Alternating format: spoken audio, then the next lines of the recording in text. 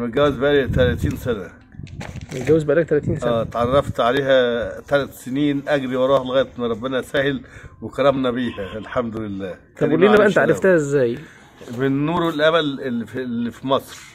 فأنا كنت برضه إيه شغلي في مصر عشان كنت ساكن في الأول في الخنكه اليوبيه آه. بس ربنا كرمني. لما اتجوزت بقى حصل نصيب طلعت من بلد أهلي من بلد أهلي كانوا قاعدين في مليج. فلقيتها برضو من مليج سبحان الله وبعدت عن أهلي عشان ما كانوش موافقين على الجواز مش الجواز والمكفوفين ومش مكفوفين فبعد المستحيل اتجوزت غصب عنهم بقى. اعمل إيه؟ سبت إيه؟ الخيكه عملت إيه عشان تتجوز غصب عنه والله أنا أنا أنا طردت طردت نفس لما لقيت معاكسيني سبت سبت لهم البيت وقعدت عند سيدنا الحسين لمدة ثلاث سنين. مم. تحت في النفق.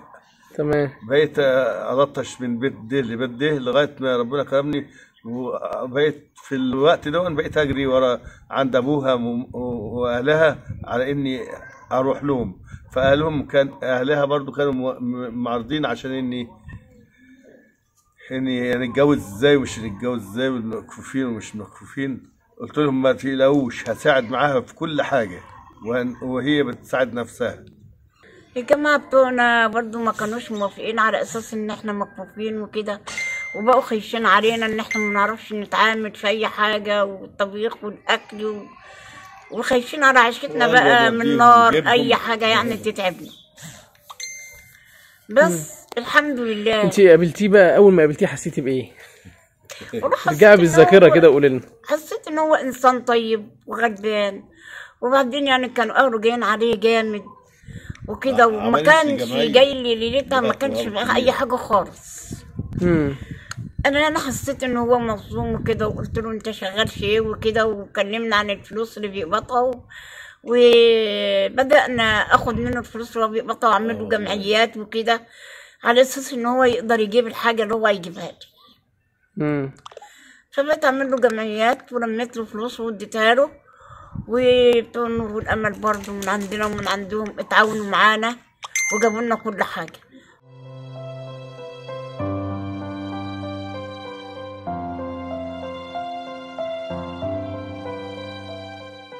والله أنا بقوم من النوم. ألاقي عندي شوية مواعين أقوم أغسلهم الأول وأنضف البيت أروقه. وبعد كده إيه قبل الغدا ما يجي أكون وضبت الأكل. أي نوع أكل. يعني إن كان محشي بعمل محشي. إن كان كفتة بعمل كفتة. سمك أي نوع من أنواع الأكل. ما بتأثرش عندي في أي عمايل. بعمل. الحمد آه لله. يعني بقوا عمالين يقولوا انت هت لو ربنا اداكوا عيال هتتعاملوا معاها إزاي؟ أنا كنت مخليه ابني زي حتة القشطة. يعني كان كله بيتمنى يشيلوا يشيلوا من نظافته ومن اللي أنا عاملاه فيه. آه والله حتى لما عمل حادثة بين عمل حادثة. برضه بقيت قايمه بواجباته في كل حاجة. امم ما سبتهوش. آه لا والله. ما سبتوش والله والناس كانت بتيجي علشان يشوفونا بنعمل إزاي معاه. كانوا يجوا يلاقوا ابن نضيف هدومه وفرشه وكل حاجة. هي بتقوم بكل الدور بتاعها بس من عدا التأثير اللي بيأثر ب- بتقوم بالطبيخ وبكل حاجة وبالغسيل. عندنا غسالة آه، فول أوتوماتيك يعني اهو بتشتغل عليها يا دوب ابننا ح- علمنا التحرك إزاي والحركة فيها إزاي. فماشيين عليها يا دوب بتنشف وبننشر.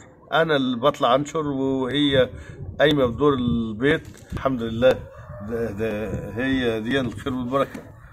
آه والله إحنا أنا قلت لابوها أنا قلت لأبوها هشتغل هعمل معاها كل حاجة. ونفذت كلمتي. لما يقول لي مش هتعرف تعمل قلت له هعمل اللي هتأثر فيه. ما كنتش بعمل حاجة في في, وسط أهلي بس اهو اتعلمت.